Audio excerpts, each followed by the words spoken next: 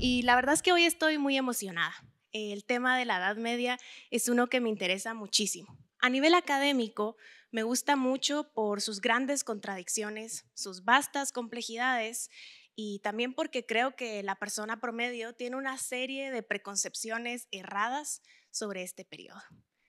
Y a nivel personal, me gusta por la forma en que la magia y la fantasía se entretejen con la realidad. Estamos hablando de una época de dragones, princesas, hechiceros y brujas. Y en medio de toda esta fantasía, creo que resalta el mito arturiano. Probablemente estén familiarizados con los elementos más icónicos de la leyenda, la espada en la piedra, Excalibur, los caballeros de la mesa redonda y por supuesto Camelot, como una utopía medieval. Creo que es imposible acercarse al mito arturiano y no preguntarse cuánto de esto es verdad. ¿Puede Arturo ser una figura histórica o solamente mitológica? Aparte de tratar de responder a estas preguntas, quiero invitarlas a reflexionar sobre el triángulo amoroso entre Arturo, Lanzarote y Ginebra. Una historia que se ha contado mil veces, de mil formas distintas, y cada una de estas responde a un contexto social puntual. No es un simple amorío. Este acto tiene implicaciones éticas y políticas en todas sus versiones. Nuestra historia, como casi todas las historias de Occidente, comienza en Roma, específicamente en el año 43 después de Cristo. Eh, cuando el César le ordena a Bruto que empiece una vasta expansión militar por el Atlántico. Y esto termina en la conquista de Britania. Quienes estaban asentados aquí eran los pueblos celtas y por 300 años fueron conquistados y dominados por el pueblo romano. Esto implicó una transformación de sus costumbres paganas para adecuarse al imperio y sobre todo la conversión masiva y obligatoria al cristianismo. Pero en el 410, ¿verdad? Cuando cae Roma, eh, no tiene sentido tener a las fuerzas romanas diseminadas y por lo tanto se ordena una retirada masiva de Britania. Y de pronto los pueblos celtas que llevaban 300 años bajo la protección del gran imperio romano quedan totalmente desamparados y empiezan una serie de invasiones por los pueblos bárbaros germanos. En el caso de la Britania, de los sajones y de los anglos. Es en medio, ¿verdad?, de esta Europa complicada del siglo V, donde debió haber existido Arturo, si es que existió. Eh, de esta etapa de la Edad Media tenemos muy poca información, por lo mismo de que estábamos en medio de una serie de guerras constantes. La primera mención que se hace históricamente de Arturo es en el Gododin, un poema galés, y aquí ni siquiera se menciona como uno de los personajes, se utiliza como un punto de comparación, Dicen que este gran guerrero y gran cacique era muy valiente, pero no era como Arturo. Esto es muy importante porque nos ayuda a darnos cuenta de que Arturo es, sobre todas las cosas en la Edad Media, un ideal y la importancia de la tradición oral para formar este mito. Más adelante lo vemos en los Anales de Cambriae, que es un texto que recolecta los diferentes hechos históricos importantes de la Britania. Y aquí ya pensamos, ya pensamos aprender algunas cosas de él, como que participó en la guerra del Monte Badón. Y es interesante porque la cita textual dice, en la batalla de Badón, en la que Arturo portó la cruz de nuestro Señor Jesucristo, durante tres días y tres noches, los sajones fueron derrotados. Y esta es la versión de Arturo que existe, la de un gran líder militar. Y también esta nos habla por primera vez de su muerte y la ubica en Camlan, lo que eventualmente por una serie de traducciones del galés al latín, del latín al francés, del francés al inglés, se convierte en Camelot. Y hablamos, ¿verdad?, de que muere eh, con Monred. No sabemos si mueren peleando, si mueren juntos, si mueren peleando eh, del mismo lado o son enemigos. Solo ubicamos su muerte en el 537. Eh, si se dan cuenta, ¿verdad? En esta batalla tenemos algunos datos de él y aquí van a ir terminando toda la historiografía que tenemos de Arturo. Lo siguiente, casi 200 años después, en el 830, es la historia Britonium del historiador galés Nennium, quien eh, empieza a atribuirle a Arturo ciertas cualidades mágicas. Aquí empieza el mito. Él narra 12 batallas que libró Arturo y precisamente en la del Monte Badón nos dice que Arturo solo derrotó a 996 sajones. Un poco difícil, ¿verdad? Y el tiempo pasa y luego tenemos en el 1136 la primera gran historia del rey Arturo, la historia Regum Britannia eh, de Jeffrey Monmouth. Y aquí es donde empieza el verdadero mito. Eh, Monmouth tenía intenciones historiográficas y como no logra encontrar fuentes primarias puntuales sobre Arturo, decide llenar él solo los vacíos e inventarse el mito. Y este mito va a ser claramente el resultado de un hombre galés. Los galeses son los descendientes de estos celtas a los que habían conquistado los romanos. Y entonces él toma toda la tradición galesa, la búsqueda de un caldero mágico, la presencia de los druidas y las coloca en la historia. Incluso eh, se inventa, ¿verdad?, que el hogar de nacimiento de Arturo, por supuesto que es su ciudad natal, en Cornwall. Y sabemos que esto no tiene sentido a nivel histórico, ¿verdad? Porque en el siglo V eh, no tenían la capacidad de construcción de castillos masivos ni de piedra, pero él está escribiendo en el 1136, 500 años después, inventándose y adecuando su experiencia a la del mito. Entonces, hablemos un poco de la imagen de Merlín. Eh, los druidas eran estos entes o eh, autoridades religiosas de los pueblos celtas, a los que se les atribuía ciertos poderes como por ejemplo el contacto con la naturaleza y poder predecir el futuro. Cuando la cristiandad llega, ¿verdad? Es necesario reconfigurar todos estos personajes y se convierten en magos. Y la otra cosa que inspira fuertemente a Jeffrey Mormont es la invasión de los normandos sobre Inglaterra. Eh, los normandos, ¿verdad? Eran un pueblo vikingo que está en constante guerra con los francos y entonces hacen un trato. Les van a dar el territorio de Normandía en plan de ducado y ellos van a ser leales al rey franco, pero van a tener su propio territorio. Y los normandos aprenden a hablar francés y toman todas las costumbres de los reyes francos y se expanden y se expanden hasta llegar a Inglaterra y la conquistan. Entonces, Guillermo el Conquistador, ¿verdad? Tiene un problema y es que estos pueblos sajones y celtas no lo reconocen como rey. Pero muy convenientemente, una vez se publica esta historia Regum Britannia, él encuentra una línea directa de sucesión entre él y Arturo. Ah, de pronto ya no es un conquistador, es el nieto perdido del legítimo, mítico y maravilloso rey Arturo. Entonces, todas estas tradiciones y elementos de la Alta Edad Media van llenando la imaginación de Jeffrey Mormont y así es como él escribe la primera versión oficial del mito. Y la historia Regum Britannia es un bestseller. Hoy en día tenemos 200 manuscritos eh, de este libro. Es una cantidad tremenda cuando pensamos que los manuscritos están hechos al 100% de materiales orgánicos. Que nos tengamos en la actualidad 200 manuscritos de estos implican que en la Edad Media existieron miles de estos ejemplares. Y como es un bestseller, llega a los francos y lo traducen. Y más adelante, Chetrien de Troyes va a crear sus propias versiones. Eh, aquí las cosas ya van cambiando, ¿verdad? Estamos en Europa continental y los valores que van a influenciar sobre todo a Chrétien de Troyes para escribir su versión del Caballero Arturo va a ser el amor cortés. Estos son mandados a escribir por la reina María I de Francia. Y él es la persona que introduce a los diferentes caballeros de la mesa redonda. Ya no solo son caballeros, ahora son Percival, son Wayne y son también Lancelot. Aquí es donde empieza el amorillo entre nuestra querida reina y la mano derecha del rey.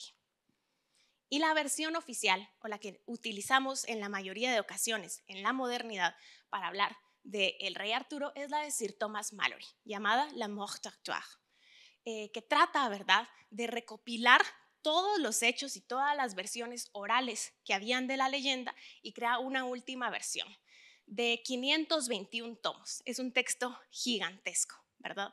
Y este va a darnos la muerte de Arturo, un tema que no se había escrito hasta este momento. Así que hablemos del mito. ¿Cuál es la historia oficial o la historia que nos cuenta Thomas Mallory? Todo empieza, ¿verdad?, con Uther Pendragon, este señor de acá.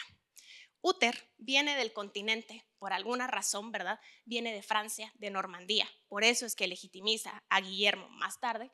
Y entonces él llega a una Inglaterra que está en caos. Hay guerra por todas partes. Y así que él gana todas las batallas, pelea con los sajones y por derecho de armas, o sea, por ser el mejor guerrero, lo proclaman rey. Y de pronto, por primera vez en siglos, la Britania está unida y hay paz. Eh, pero Uther tiene un problema y es que no tiene un heredero. Y es porque no le interesa ninguna de las mujeres disponibles en la corte. Así que se enamora de Eirene. Eirene era la mujer más hermosa que Uther había visto. Desde el momento en que la ve, queda totalmente hechizado. El problema de Eirene es que está casada. Está casada con uno de los señores feudales de Uther. Y Uther le ordena que le entregue a su esposa y ambos se niegan. Así que, ¿qué sucede? Empieza una guerra civil. Y este es un tema recurrente en Occidente y en la Edad Media. Las mujeres hermosas son problemáticas. Eh, entonces, ¿verdad? Empieza esta guerra y Uther está perdiendo. Así que hace un trato con un druida, con un mago, Merlín, y le dice, voy a hacer lo que tú quieras, solo quiero una noche con Irene. Y Merlín se la concede. A cambio, Uther va a tener que entregarle a Merlín a su primogénito, para que Merlín lo críe. Y como Uther es un estupendo padre, acepta. Así que le da una poción que lo hace parecer Gondolin, el esposo de Irene, por una noche. Y le dice, tienes 24 horas. Así que empiezan una batalla, Gondolin sale a pelear y Uther entra al castillo disfrazado y yace con Erin. A la mañana siguiente, Uther desaparece y Erin se entera de que su esposo murió en batalla y no lo entiende. ¿Cómo puede haber muerto si pasó toda la noche con ella? De pronto se da cuenta, algo no está bien. Uther llega con su ejército y le dice, tu esposo ha muerto, tienes dos opciones, te conviertes en mi esposa destruimos todo. Erin acepta. Y resulta que estaba embarazada y nace el niño, Arturo. Y Berlín llega a recolectar lo que le pertenece. Eh, Erin entra, ¿verdad? Y sufre por mucha tristeza por el robo y la pérdida de su único hijo varón y muere de tristeza. Ella había tenido tres hijas mujeres con su antiguo marido, el que Uther mata, y la menor de ellas se llama Morgana. Morgana la Hada o Morgana la Fey. Y Morgana está furiosa, ¿verdad? Porque tanto Merlín como Uther son responsables de la muerte de su padre y técnicamente de la muerte de su madre, quien muere por tristeza. Así que decide eh, profundizar sus conocimientos de magia y hechicería y eventualmente vengarse. Uther muere sin un heredero claro y entonces, con todas sus fuerzas vitales y pidiendo a Dios, ¿verdad?, que solo su heredero sea capaz, clava su espada en la piedra. Y dice, solo mi hijo, que en algún momento se perdió, se lo llevó Merlín, va a ser capaz de sacar esta espada de la piedra. Y pasan los años, la Britania empieza otra guerra civil porque no hay un líder claro, y Arturo crece, sin tener idea de quién es, sin saber que es hijo, ¿verdad?, de Uther Pendragon. Y un día eh, Arturo se convierte en escudero. Los escuderos son las personas encargadas y responsables, ¿verdad?, de ayudar a los caballeros. Él está en una justa y su caballero no tiene espada, así que manda a Arturo a que traiga cualquier espada. Él ve la espada en la piedra y dice, bueno, pues esta está cerca y la saca. Y por un momento, él sin saberlo, todo el mundo se queda quieto. ¿Quién es este muchacho, este escudero que acaba de sacar la mística espada de la piedra? y a sus 15 años lo convierten en rey. Merlín, que lo había estado criando, se vuelve su mano derecha y lo corona. Por primera vez, ¿verdad? Desde la muerte de Uther Pendrago, hay paz, otra vez en Britania. Eh, él empieza un proceso constructivo, eh, generalmente se traza la existencia de Camelot a Cornwall, pero no hay eh, pruebas concretas. Pero él empieza con la construcción de su gran ciudad, Camelot, una ciudad donde todos van a tener un trato justo y equitativo, y en la cual los diferentes caballeros que sean enviados por sus señores feudales van a trabajar y crecer al lado de Arturo. Y de pronto, ¿verdad? Necesitamos resolver el problema constante de la Edad Media, que es el de la sucesión. Así que Arturo empieza un proceso de viaje, ¿verdad? Y existe dentro de la tradición medieval temprana esta idea de que para legitimizar el poder, el nuevo rey tiene que casarse con la mujer de mayor rango disponible. Y para la buena suerte de Arturo, Ginebra es hermosa. Es la mujer más bella que ha visto y está decidido a casarse con ella para legitimizar su derecho al trono y también porque es muy bella. Pide su mano en matrimonio y su padre se la da. Pero Merlín le advierte, las mujeres hermosas traen problemas. No te cases con ella, vas a hacerte vulnerable.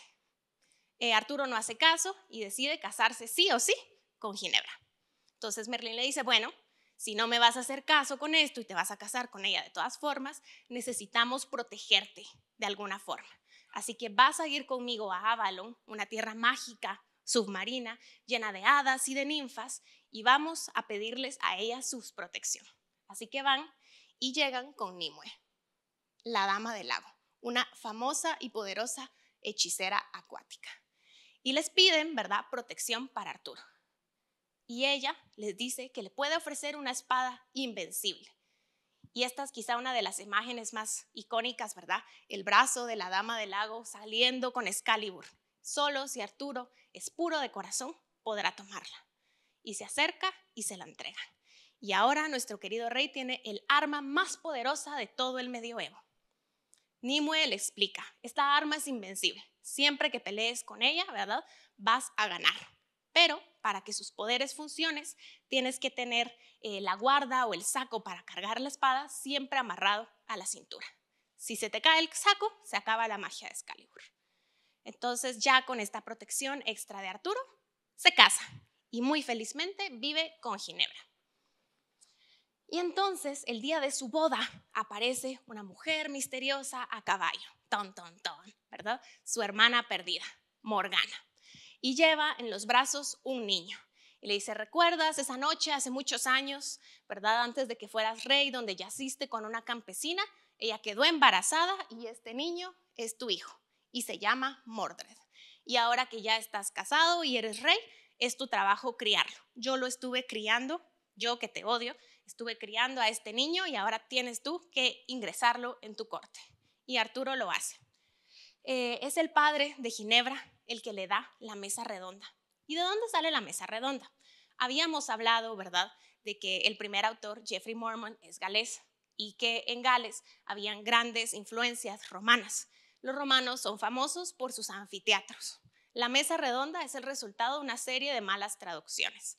En la primera versión dicen que Arturo y sus hombres se reunían en una habitación redonda, el anfiteatro romano.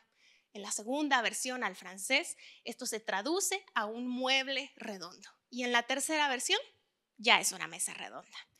Y aprovechando que estamos en el punto más alto de los valores de caballería, se agrega esta idea de una mesa redonda en la que todos van a tener la misma cantidad de poder y de valor. Y aquí hay una serie de versiones y de aventuras. Todos los caballeros están haciendo muchísimas cosas. Eh, Percival está tratando de recuperar el Santo Grial, Lanzarote está peleando con dragones, Cayawen con un caballero verde, y en muchas de estas historias, Morgana va a ser la malvada, la villana. Recordemos que ella odia a Arturo, recordemos que ella es bruja y seguimos en la Edad Media, y recordemos que los caballeros tienen que, sobre todas las cosas, mantenerse castos. Y Morgana es hermosa, seductora, y malvada. Entonces va a representar muchos problemas, no solo a nivel mágico, ¿verdad? A crear criaturas mágicas, sino que va a seducir y a retar, ¿verdad? Muchas veces a estos nobles caballeros. Y un día aparece, ¿verdad? Un caballero misterioso en la corte, Lanzarote. Y Lanzarote se convierte rápidamente en el mejor caballero de la mesa redonda y en la mano derecha del rey es estupendo peleando, es muy bueno, no es de cuna alta, pero está dispuesto a morir por Arturo. Y entonces, al ser la mano derecha del rey, se le encomienda ser el protector jurado de la reina. Y esto era muy normal y no necesariamente mal visto en la Edad Media, que un caballero se sintiera platónicamente enamorado de una mujer eh, de mayor nivel. El problema surge cuando la reina reciprocea esos sentimientos. El caballero puede estar enamorado de la reina, pero la reina no debería estar enamorada del caballero. Consumidos por su amor y cerca de pecar muchas veces, Lanzarote le pide a Arturo permiso para irse. Ya no puede estar en Camelot. Cada vez que mira a Winiver siente que va a tomarla y ella también. Así que se va. Arturo le concede el permiso para dejarla. Y entonces va él a vivir sus aventuras y llega al castillo del rey Pele, que está infestado de dragones, y derrota a los dragones. Los dragones se ven pequeños en la imagen, pero igual y era un reto vencerlos y ganarles. Y la hija del rey Pele, llamada Emil, se enamora perdidamente de Lanzarote y le ruega y le suplique que esté con ella. Pero él no puede, él solo ama a Ginebra. Y como muchas veces en la Edad Media, ella va a buscar la magia y la magia trae problemas, al igual que las mujeres hermosas. Y entonces toma una poción que la hace ver como Ginebra por una noche y va y yace con Lanzarote. Lanzarote. Cuando él despierta, se da cuenta de que no fue todo un sueño, de que Emil lo engañó y está a punto de matarla cuando ella le dice, estoy embarazada. Así que él se queda muchos años a vivir con Emil y con su hijo Galahad, pero no puede dejar de pensar en Ginebra. Está perdidamente enamorado de ella, así que decide regresar a Camelot. Y a los pocos días llega una barca con el cuerpo de Emil sin vida. Ha muerto de tristeza por extrañar tanto a su amado. También llega el bebé que habían tenido juntos, Galahad, para que crezca en la corte del rey Arturo. Y Galahad se convierte en el mejor caballero, supera a su padre en todos los aspectos. Y es él quien eventualmente va a conseguir el Santo Grial.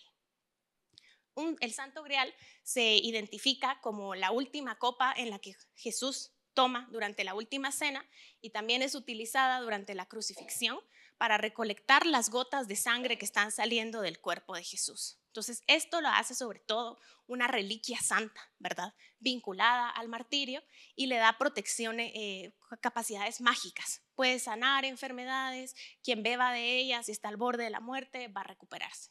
Entonces, por muchos años los caballeros de Arturo tratan de recuperar el Santo Grial y todos fracasan. Pero Galahad, que es puro y perfecto y tiene 17 años, la consigue y justo después de entregarle el santo grial al rey Arturo, muere, porque es tan puro y tan perfecto eh, que el destino y la providencia ha decidido que muera antes de poder corromperse. Y ahora el santo grial está en manos de Arturo. Su padre, Lanzarote, lo intentó muchas veces y los ángeles que guiaron a Galahad al santo grial no guiaron a Lanzarote porque él ha pecado. Rompió sus votos y ahora es amante de la reina. Eh, hay muchos pasajes y muchísima poesía escrita alrededor del amor de estos dos.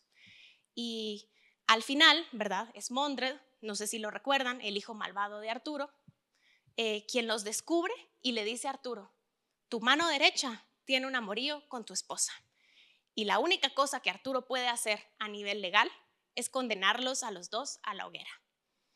Así que huyen, escapan y empieza otra guerra civil. Las mujeres hermosas causan problemas. Eh, muchos caballeros de la mesa redonda mueren, algunos le son leales a Lanzarote, otros a Arturo, eh, hay mucho caos y entonces Lanzarote eh, regresa, ¿verdad?, a sus sentidos y decide entregar a Ginebra. Y Arturo dice que va a perdonarles a los dos la vida siempre y cuando Lanzarote se vaya de Britania, abandone la isla y nunca regrese. Y lo hace, pero una vez más, su hijo malvado, Mondred, lo convence de que eso no es suficiente, que él tiene que matar a Lanzarote. Y Arturo, cegado por el enojo, el dolor y la traición, dice, tienes razón, te voy a dejar a cargo del reino y voy a ir a matar a Lanzarote. Y Mondred, ¿verdad? Se corona a sí mismo rey, obliga a Winiver a casarse con él y decide eh, empezar una tiranía. Arturo se lo escucha, descubre lo que está haciendo su hijo malvado y regresa corriendo a Camelot a pelear con él. Y en una serie de eventos desafortunados, Mordred corta, ¿verdad? Eh, la cubierta de Excalibur, lo cual hace a Arturo penetrable y lo mata. Arturo les dice, ¿verdad? Llévenme a Avalon, llévenme a este lugar, ¿verdad? A este lago mágico de donde me dieron Excalibur. Y las mujeres lo llevan y se lo entregan a Nimue no saben si para que cure sus heridas o para que descanse. Y Camelot cae en la ruina. Una vez más, ¿verdad? Mordred también muere en batalla, no hay un sucesor claro y Camelot es destruida, hay guerras, muerte y todos son miserables. ¿Y qué pasa con Ginebra? Ella se mete a un convento muriendo de la culpa de que Camelot, ¿verdad?, haya sido destruida por sus decisiones. Y Lanzarote llega a buscarla y le dice, Arturo está muerto, es nuestro momento. Pero Ginebra le dice, lo siento, ahora soy monja y nuestro amor siempre estuvo prohibido. Es un final muy trágico, ¿verdad? Y los motivos son plenamente aleccionadores y morales. Hay un discurso religioso también detrás de esto. ¿Y qué pasa con Arturo? Pues como él va a Avalon, existe el mito y la leyenda de que en tiempos de necesidad, cuando Britania más lo necesite, el rey Arturo va a regresar de Avalon como el legítimo y único rey de Britania. Entonces, a pesar de todo este caos, termina con una especie de nota alentadora y moral. Obviamente, el mito no siempre tuvo este final trágico. Como hablábamos al principio, hay una serie de versiones distintas alrededor de Arturo y Ginebra y Lanzarote. El final trágico, eh, vamos a ver en un momento, es el resultado del contexto en sus primeras manifestaciones o de dónde viene, ¿verdad? La idea de la infidelidad. ¿Por qué están escribiendo estos hombres tremendamente religiosos sobre una reina que no logra controlar sus deseos sexuales? Y esto viene de una tradición larga de la cultura celta. De nuevo, son los galeses los que van a sentar las bases de toda esta leyenda. Y es la historia eh, de Deirdre, quien es obligada a casarse con un hombre mucho mayor que ella. Entonces ella se queda perdidamente enamorada de Naoyense y entonces escapan. Eh, lo que sucede es que en las historias originales de Arturo y Ginebra, Arturo era mucho más grande que ella. A Ginebra nadie le preguntó si ella quería casarse con Arturo. Fue un trato entre su padre y el rey. Y entonces el amor que ella siente por Lanzarote al principio es visto con empatía. La pobre reina joven que fue forzada a casarse. Más adelante, ¿verdad? En el siglo ya 1137, cuando Jeffrey de Mormont escribe la primera versión, no es importante. ¿Qué pasa entre Ginebra y la infidelidad? No es un elemento clave de la historia. Lo que quiere en ese momento Jeffrey Mormont es eh, legitimizar a Guillermo el Conquistador. Y entonces aquí ni siquiera aparece Lanzarote como un personaje. Recuerden lo que les había dicho al principio casarte con la mujer de mayor rango te legitimiza como rey.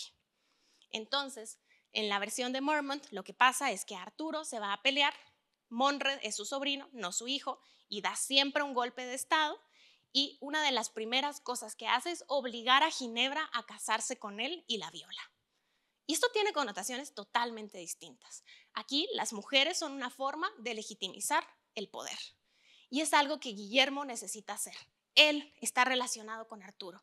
Él y Uther Pendragon vienen de Normandía los dos. Y él y su reina, porque él se casa con la mujer de mayor rango, ¿verdad? De los pueblos galeses, nunca serían así de malvados. Es una especie de moraleja para sus hombres. No me traicionen. No sean ustedes Mondred. ¿Verdad? Entonces, la forma de la infidelidad, la primera vez que escuchamos a Arturo, aparece de forma distinta. Aparece por el abuso de Ginebra, ¿verdad? No porque ella eh, decididamente haya decidido engañar a Arturo. Y por eso es que esta primera versión lo que hace y lo que nos permite entender es como al principio de la Edad Media, y esto también lo vemos un poco en la Odisea, el poder heredado de las mujeres es importante. ¿Alguna vez se han preguntado por qué tantas personas querían casarse con Penélope? Porque de alguna forma el matrimonio con estas mujeres te legitimizaba. Por supuesto que las mujeres no tenían la agencia y el poder político que tienen hoy en día, pero sí tenían cierto poder político y podían heredar tierras. Entonces, la primera vez, ¿verdad? Esta infidelidad es el resultado de una violación y es una forma de deslegitimizar al primer Arturo y cuando él viene y mata a Mondred y reclama a su mujer, eh, está hablando de que siempre sí él es el verdadero y legítimo rey. Eh, aquí podemos ver un mapa, ¿verdad? Por si no ubican Normandía. Es este pedazo de acá. De acá venía Guillermo y conquista todo este territorio. Uther también había sido criado acá y conquista todo este territorio. Y este no va a ser el único rey que va a utilizar a la figura mítica de Arturo para poder eh, llegar y declararse a sí mismo rey de Inglaterra. Pero el tiempo pasa y Guillermo, ¿verdad? Llega a ser rey, es consolidado y la corte anglo-normanda tiene su tiempo. Así que hablemos de la segunda versión más importante del mito, la que manda a ser María I de Francia. María I de Francia eh, era la hija de una señora muy importante en la Edad Media llamada Leonor de Aquitania. Y algo interesante de ellas es que eran muy buenas eh, patronas, ¿verdad?, del arte. Les gustaba financiar músicos, juglares, pintores, etc. Así que María financia a eh, Chetrien de Troyes y ella le da las historias que quiere que escriba. Le dice, yo quiero que escribas una historia en la que Percival eh, se enamora de una campesina. Y Chetrien de Troyes, que no está muy encantado de la situación, pero necesita financiamiento, lo hace.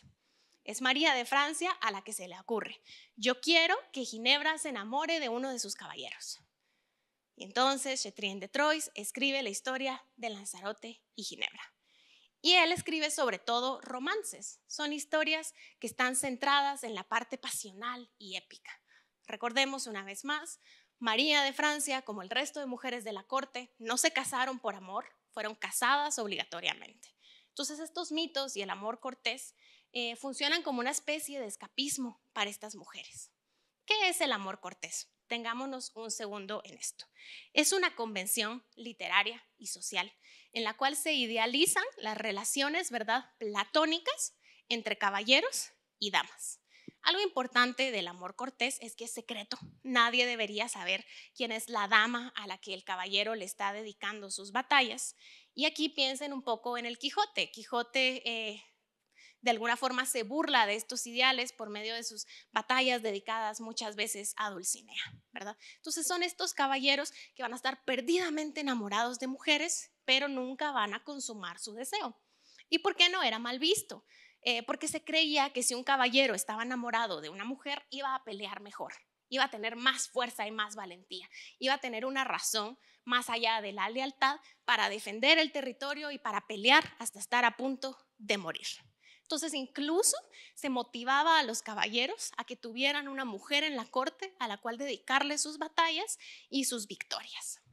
Así que cuando Lanzarote y Ginebra se enamoran por primera vez, no es un problema. Como les digo, el problema surge cuando el deseo es demasiado y no pueden controlarse. En esta versión eh, es divertido porque a Ginebra la raptan y alguien la tiene que ir a rescatar y Arturo no va porque está muy ocupado siendo rey, entonces manda a Lanzarote. Y de alguna forma esto justifica, ¿verdad?, el amor que Ginebra siente por él cuando su esposo no está. Este maravilloso, galante y joven caballero va a salvarla. Y cuando él la rescata de este rapto, es cuando se dan su primer beso. Chetrin de Troyes nunca expande sus historias, siempre terminan ahí, en el beso finalmente dado entre el caballero y la dama. Y luego surge, quizá hay otra historia que se parece mucho al amorío entre Ginebra y Lanzarote, que es Tristán e Isolda. Esta también tiene sus bases en la tradición galesa y es muy parecida. Tratan de estos dos enamorados eh, que él es enviado a traer a Isolda para que se case con el rey, un rey también mayor al que ella no ama. Y en el camino un hechicero prepara una poción de amor para que Isolda se enamore del rey pero hay una confusión y la toman Tristán e Isolda y empieza un amor imposible entre los dos. Esta historia es diferente porque Ginebra y Lanzarote se aman voluntariamente, Tristán e Isolda se aman como el resultado de un hechizo, ¿verdad? De un hechizo que sale mal, de una poción de amor mal administrada. Y entonces Tristán e Isolda empiezan un amorío que dura muchos años, eventualmente el rey se lo descubre, exila a Tristán y él muere de tristeza e Isolda también. Entonces esta era sobre todo una tragedia y dentro de la tradición cristiana la podíamos perdonar porque era una historia de cómo la magia hace cosas horribles. Si nadie hubiera hecho esta poción de amor, ellos dos no se enamoran y no hay tragedia. Pero nadie hechiza a Lanzarote y a Ginebra. Y esto se vuelve un problema para la iglesia, porque estamos escribiendo y promoviendo historias de mujeres infieles. Y entonces aquí surge la versión vulgata. No sabemos quién escribió la versión vulgata. Esta es una serie de cinco tomos que también cuentan la historia del rey Arturo. Y a diferencia de las demás, o esta se llama versión vulgata porque está escrita en un lenguaje vulgo, o sea, de las masas, no está escrita en latín. Y la versión vulgata responde a este problema religioso. La versión vulgata es un esfuerzo de cristianizar esta historia pagana, esta historia que viene de los celtas. Y va a hacer muchos cambios. El primero de estos cambios va a ser que es la versión vulgata la que incluye la búsqueda del Santo Grial.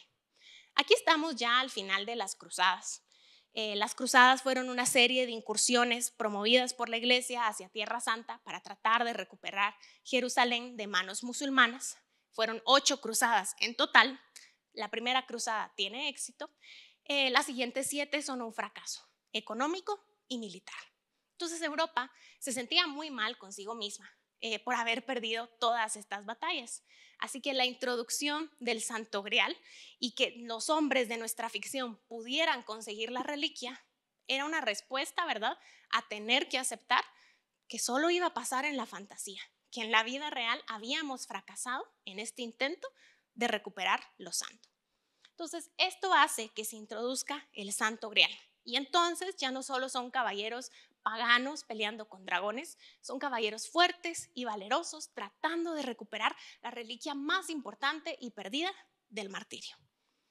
Y es tanta la influencia, ¿verdad?, que tiene la introducción del Santo Grial en el mito arturiano, que los caballeros templarios, una muy famosa orden de caballería, va a adaptar, ¿verdad?, y va a tomar los colores y el emblema del rey Arturo. Los templarios no se inventan la cruz roja sobre el fondo blanco, ¿verdad? Este era el lema de los caballeros de Arturo, y como ellos recuperan el Santo Grial, y estos son caballeros cruzados, o sea, que participan en las cruzadas, se inspiran de la fantasía. Es como una especie de eh, disfraz o de fandom o de tributo, ¿verdad? A estos caballeros arturianos que ellos admiran.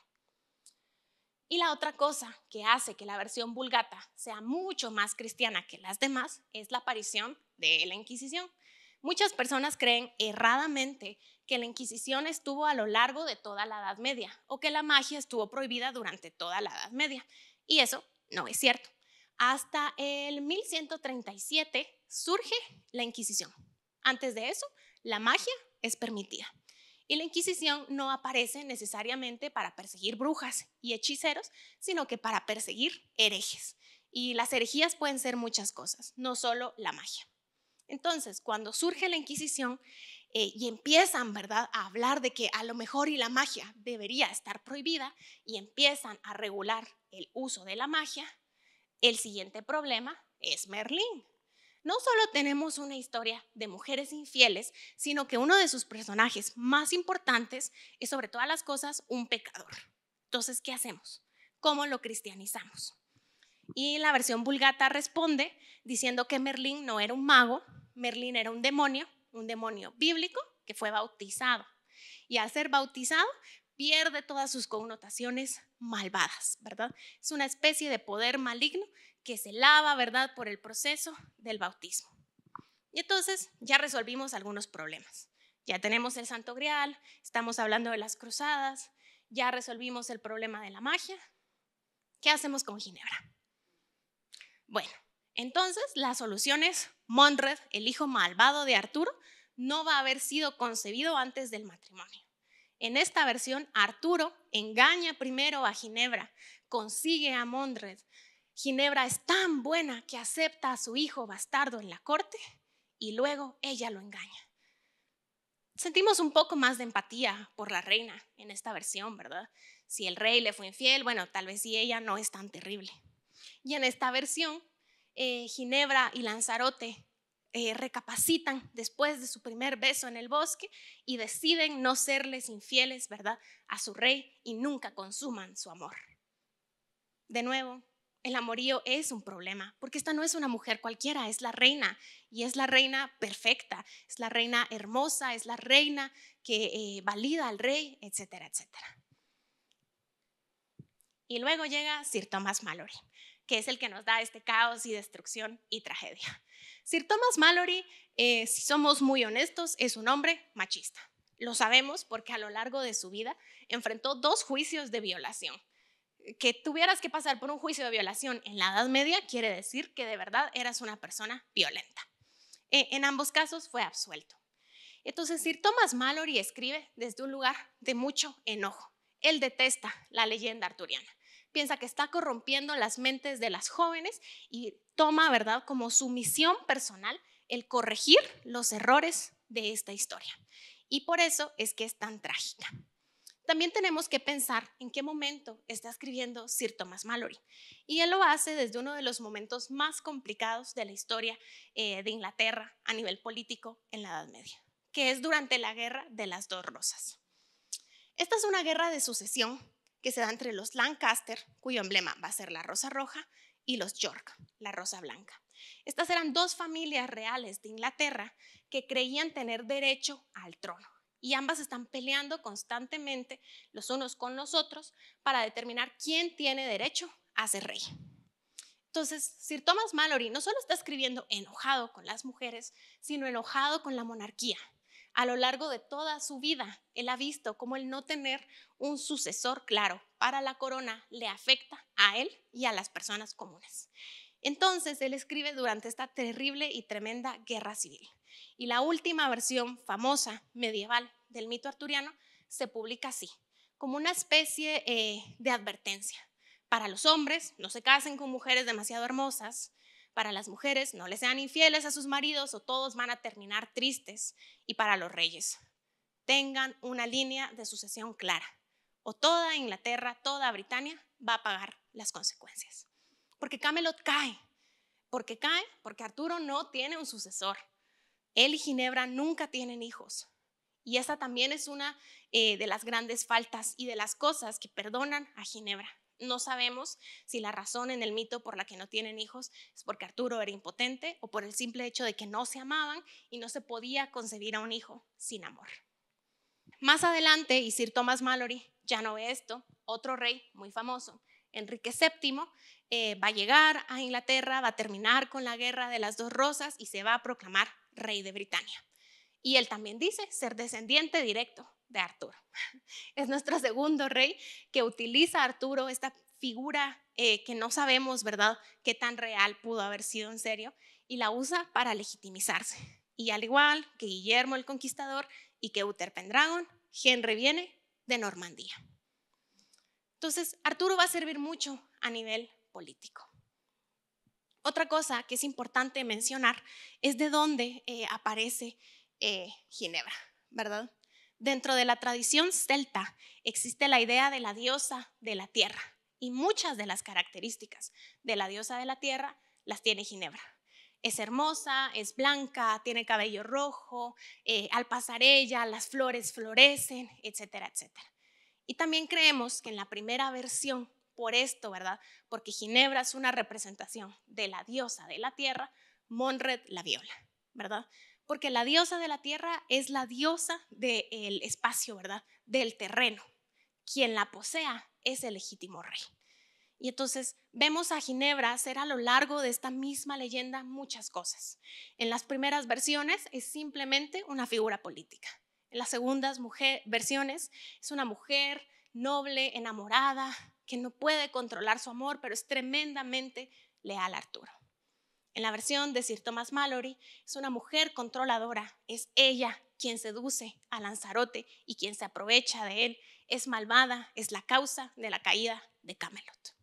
Es la misma historia, con tan diferentes connotaciones. A mí me gusta mucho este pasaje de este poema, es eh, de William Morris, ¿verdad? Que habla de la defensa, o se llama La defensa de Ginebra. Eh, en alguna de las muchas versiones, porque hay miles, del mito, eh, a Ginebra antes de acusarla, ¿verdad? O de condenarla a morir en la hoguera, le piden o pasa por un juicio. Y este es parte del proceso en que ella se defiende. Y dice, por ahí venía Lancelot caminando. Es cierto, el beso con el que nos besamos ese día de primavera. Apenas me atrevo a hablar del gozo recordado, cuando ambas nuestras bocas se extraviaban en un solo rumbo. y dolorosamente ansiosas, se encontraron entre las hojas, nuestras manos quedando atrás, tensas y alejadas. Nunca antes había estado Lancelot a menos de un metro de mis brillantes mangas, y ahora tan cerca. Después de ese día, ¿por qué es que Ginebra se lamenta? Y aquí vemos, ¿verdad? Que de verdad este par de enamorados hacen de todo para pelear contra sus impulsos. O sea, Lanzarote se va de la corte. Una mujer muere en el proceso de que estos hombres y de que esta pareja trata de superarse la una a la otra. Entonces, dependiendo de qué versión del mito leamos, eh, Ginebra es una villana o una víctima. ¿Y, ¿Y por qué hablar de Arturo en el siglo XXI? ¿Por qué seguimos recuperando este mito y esta historia? Eh, durante mucho tiempo la gente se olvidó de la leyenda arturiana. Llega el Renacimiento con su positivismo científico y la Ilustración con su obsesión por los valores cristianos y enseñarle a las mujeres a portarse bien. Y por mucho tiempo el mito se olvida. Pero es precisamente en medio de la revolución industrial donde Britania y los británicos tienen mucha nostalgia. Están perdiendo lo que eran, eh, su paisaje, ¿verdad?, de montañas y ovejas se ha convertido rápidamente en muchísimas fábricas. Así que regresan una vez más al mito arturiano. Y vamos a tener casi que todas las imágenes y representaciones que hemos visto a lo largo de esta presentación son pinturas creadas en el siglo XIX, porque regresan con una tremenda obsesión a la idea, ¿verdad?, de la Britania que ellos debieron haber sido, de este gran reino, de estos valores de caballería, que ven su identidad inglesa desaparecer poco a poco con la revolución industrial. Todas estas pinturas, ¿verdad?, representan a diferentes mujeres y personajes dentro del ciclo arturiano y fueron creadas en el siglo XIX.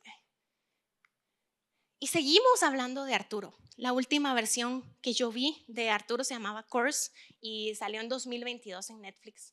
Han habido una serie de historias y de películas. Kira Knightley fue Ginebra en algún momento, ¿verdad? Y cada una de estas historias se enfoca en elementos diferentes. Algunas se enfocan en la espada, en la espada mágica, invencible. En esta versión del 2004 se enfocan en el Arturo que probablemente existió, el histórico, el que hablábamos al principio, el que era un cacique guerrero que había derrotado a 992 hombres. Y otras se enfocan en el evento o en el elemento mágico. Pero hemos visto esta historia muchísimas veces. No es casualidad, ¿verdad? Y sigue siendo parte del imaginario colectivo que tanto el rey actual, ¿verdad? De Inglaterra se llame eh, rey Carlos Philip Arturo y su heredero sea el príncipe de Gales William Arturo Philip. Esta ha sido una técnica utilizada por la corona británica por años, ¿verdad? Nombrar a sus primeros hijos varones Arturo para que haya un rey Arturo y decir siempre sí, ¿verdad? Este es el legítimo rey de Inglaterra. Eh, a mí me gusta mucho la leyenda arturiana, no solo por la magia y porque disfruto leyendo las diferentes versiones de los mismos hechos de esta infidelidad, eh, sino porque creo, ¿verdad?, que la leyenda de Arturo funciona como uno de estos grandes mitos fundacionales. Atraviesan muchísimos elementos de nuestra experiencia nos hablan de grandes temas, del bien, del mal, del amor, del poder, de la traición. Y sobre todo, Arturo ha funcionado como un ideal. Kennedy eh, reconoció eh, que para él Arturo era el rey y el líder perfecto y que él quería en algún momento crear lo que Arturo había creado en Camelot, una nación donde todos fueran iguales. Y por último, ¿verdad? Esta mesa redonda que es el resultado de una serie de malas traducciones. Y a mí eso me parece muy divertido, ¿verdad? Sigue siendo un icono de lo que deberíamos esperar en una sociedad democrática moderna. Eh, Thomas Mallory, en medio de toda la tragedia que nos presenta y la destrucción de Arturo, eh, nos indica que su cuerpo, ¿verdad?, es entregado a Avalon y desaparece. Pero eh, se crea una tumba simbólica para Arturo. Y el epitafio de la tumba dice, Hic iacet Arturios, rex quandrum resque futurus. Eh, latín, ¿verdad? Para aquí yace Arturo, el rey que fue y el rey que será. Esta última parte, ¿verdad? La de el rey que será, me gusta creer que es cierta. eh, y no porque crea que Arturo va a regresar a reclamar la corona británica y destituir a Carlos.